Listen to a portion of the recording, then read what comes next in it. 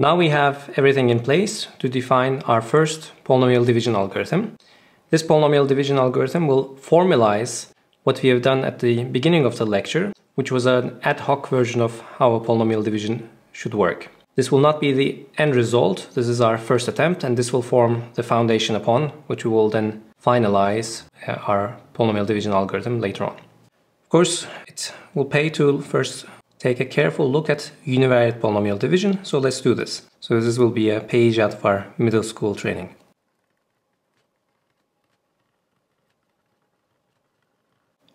So let's take something easy. I'm just going to take a sum of uh, monomials x to the 4 plus x cubed plus x squared plus x plus 1.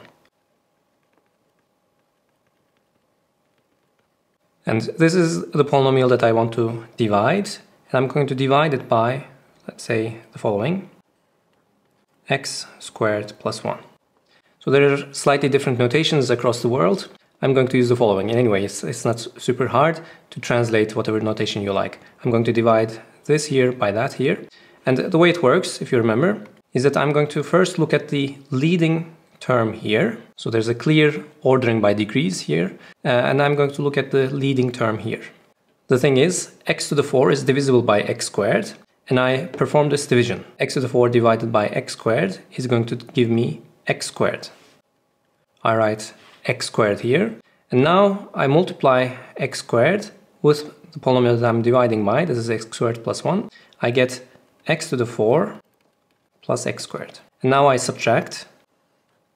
This gives me x cubed plus x plus 1. And now this process we just repeat. Now the remainder is x cubed plus whatever, and I just need to look at x cubed and I divide it by x squared again.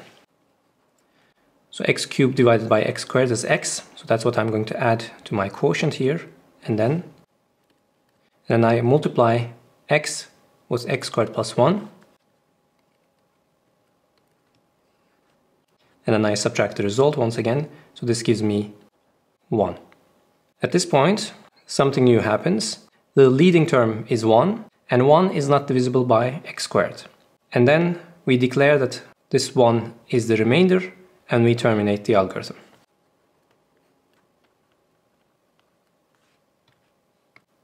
So the upshot here is that x to the 4 plus all this is the quotient x squared plus x times the polynomial I was dividing by plus the remainder. So I went through this uh, trivial calculation quite laboriously because well, pretty much the words that I've used I will use once again when doing multivariate polynomial division. But the important thing is the multivariate polynomial division will have an extra step here that did not really appear here, so it wasn't very clear. Well, the moment we hit an indivisible term, the algorithm stopped. What we are going to do uh, in the multivariate polynomial case is that there will be an extra step that reinitiates the inductive uh, loop. So now let's do uh, the algorithm in the multivariate division case, essentially just doing what seems reasonable, and then we will formalize it afterwards. So this time I take the following polynomial.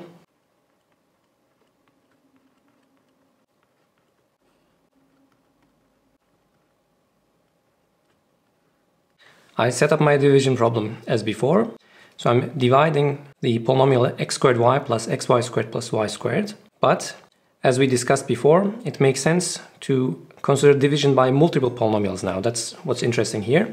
So I'm dividing this time by y squared minus 1 and xy minus 1. And of course, I will also form two quotients at once. What's important is that I will respect the order of the dividing polynomials. So the y squared minus 1 will be my preferred reduction uh, operation, and then I will reduce by xy minus 1 when it's not possible to reduce by y squared minus 1. So we continue with what seems reasonable. We take x squared y, and here uh, I'm using the lexicographic ordering to order the monomials. That's how I've written this uh, polynomial. So maybe I make a note of this.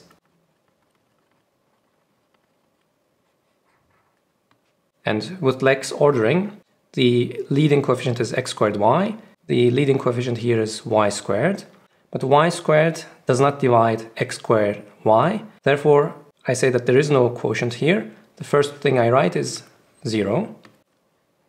So I did not write the zeros before, but let's write it here because I want to emphasize that I have two quotients. I now move on to the second polynomial, xy minus 1, and xy does divide, divide x squared y. x squared y divided by xy is x. And now I write this over here. So I, my second quotient term uh, accumulated an x. This time I do what I did before. x times xy minus 1 goes here. And then I subtract uh, it from the first polynomial that I started with. So I get, uh, now using the lex ordering, I write it as x y squared plus x plus y squared. And now our algorithm begins anew. I start again by looking at the first polynomial. Its leading term y squared does in fact divide the leading term xy squared, so I continue with this division. Dividing xy squared by y squared gives me x, I write it here. And just for bookkeeping, I write 0 at the bottom. So the second quotient doesn't appear here. The first quotient was x. And now I just uh, continue as before. X times the first polynomial is xy squared minus x. I write it here. And then I perform this subtraction. I get 2x plus y squared. And here is the first time that something is different from the univariate polynomial division in a significant way. The leading term 2x is not divisible by either y squared or xy. So in the univariate case, this, is, was, this was the time to stop, but not this time around. What we do is that we open a remainders column.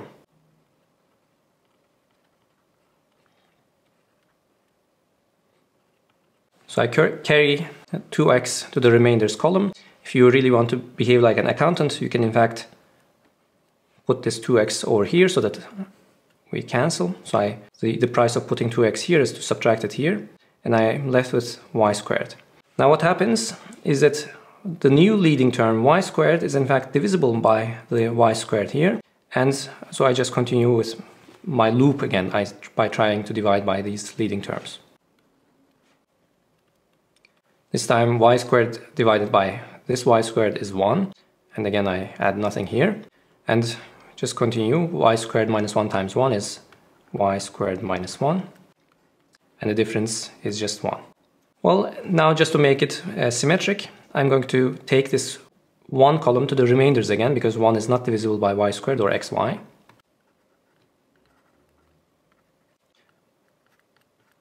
And now I finally reach 0. And that's when the algorithm terminates. The moment your original polynomial after all these subtractions reaches 0, the algorithm terminates. And we can now gather uh, our quotients and remainders to write our answer in a legible format. So let's squeeze our answer to the right hand side over here. So I had x squared y plus x y squared plus y squared. This thing equals the first quotient times the first polynomial, so that's x plus 1 times y squared minus 1 plus the second quotient, which was x, times the second polynomial xy minus 1 and plus the remainder, the sum of the remaining terms. This was 2x plus 1. So what you can observe right now is that none of the monomials in my remaining term is divisible by the leading terms of my dividing polynomials. So these were y squared and xy, they don't divide any of the monomials. And also the quotients are relatively small in that the leading every term in the quotient and the term in the uh, dividing polynomials, they're all smaller or equal to the terms appearing inside of the, the polynomial to be divided. Okay, so let's formalize what we've been just doing rather intuitively. Uh, so I'm going to give the pseudocode for the multivariate division algorithm as we have discussed so far. So what you're giving me is a polynomial f, which I'm supposed to divide, and I'm dividing by g1 through ga and they're all polynomials with coefficients in some field k and in some variables n. What's important is that this polynomial ring should already be equipped by some monomial ordering.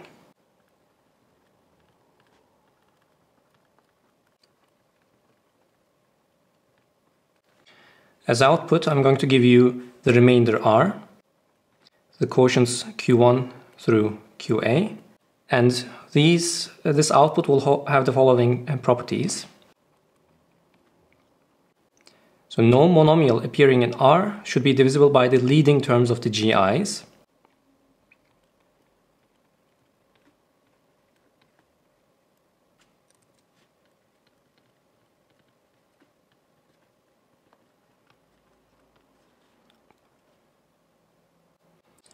And we don't introduce unnecessary uh, quotient terms. So I don't want uh, to take uh, redundant cancellations between the GIs so that we can formalize by saying that the leading terms of QI times GI should be always less than or equal to the leading term of F.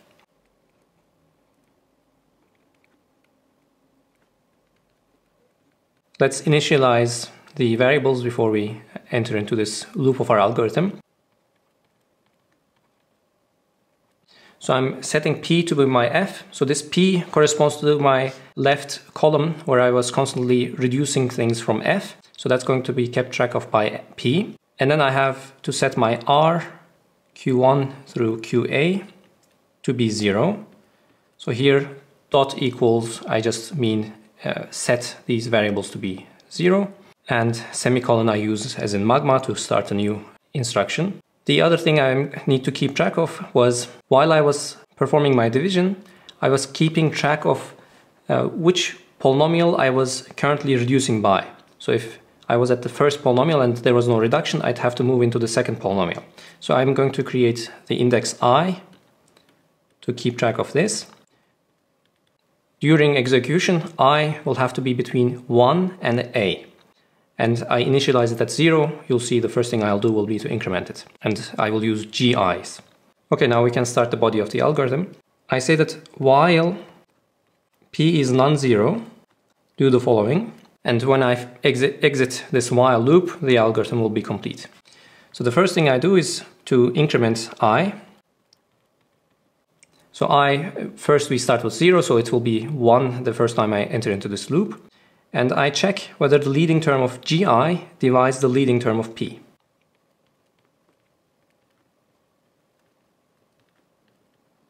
And then I update my ith quotient, qi,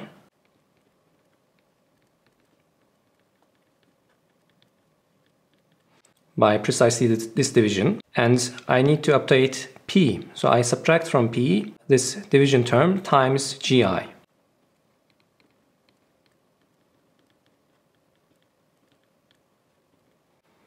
So the result of this operation will be to kill the leading term of p, therefore I will be left with a p with a smaller leading term. And one more thing, whenever we did such a reduction, we reset our counter i, so that for the new p, we're going to start dividing with g1 again. So I set i to be 0. Now what can happen is that maybe I never enter into this if clause, i gets to a here, and I do a division, and even the GA does not have a leading term that divides the leading term of P, then I will not reset my counter and I will find myself at a position where I equals A. And now I don't want to increment the counter again because then GA plus 1 does not exist. So what I need to do is to remove the leading term of P, which was not divisible by anything, and put it into the remainders.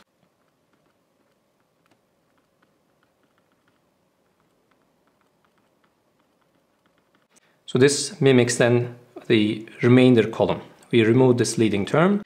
Uh, we have to reset the counter again. And that's it. So once you repeat this loop again and again, you will always remove uh, the leading term of p.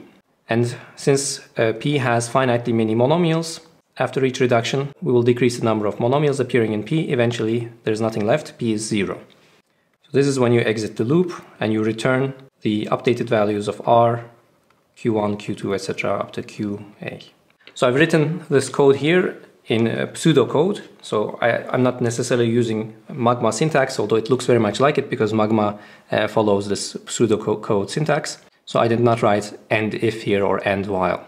I just used um, indentation to show you that this if clause here is over, so I start a new if clause, that kind of thing.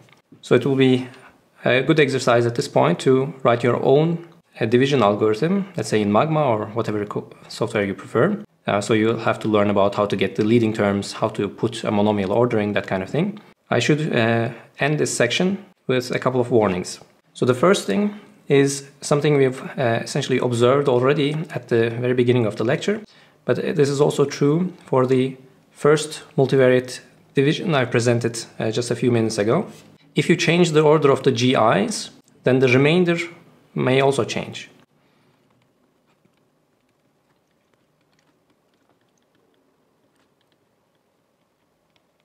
I'm not even mentioning the fact that monomial ordering will also change your remainder. That's now given, so that I have to take my polynomials uh, and my polynomial rings with a monomial ordering structure given to them. And here's the really problematic part, and it's this, that the remainder can be non-zero even when f belongs to the ideal generated by g1 through ga.